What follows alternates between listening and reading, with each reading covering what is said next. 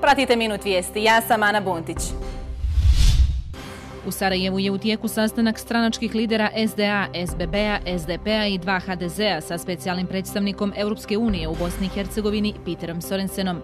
Sastanak se održava u zgradi delegacije Europske unije u Sarajevu, a glavna tema sastanka je provedba presude Sedić-Finci i to dva dana uoči novog sastanka u Briselu. Sinoć je u Mostaru okončan sastanak lidera HDZ-a Dragana Čovića i SBB-a Fahrudina Radončića. Radončić je novinarima kazao da mu je prijedlog dva HDZ-a o rješenju pitanja Sedić-Finci u načelu prihvatljiv, ali da je đavo u finesama. Čović je naveo da će se nastojati da u Brisel lideri odu sa zajedničkim stavom. Donedavni predsjednik HDZ-a 1990 Božo Ljubić ovih dana je operiran u Njemačkoj. Ljubić je na klinici u Esenu imao operaciju debelog crijeva.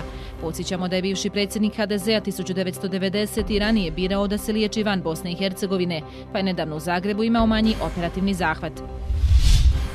Bile su to minut vijesti.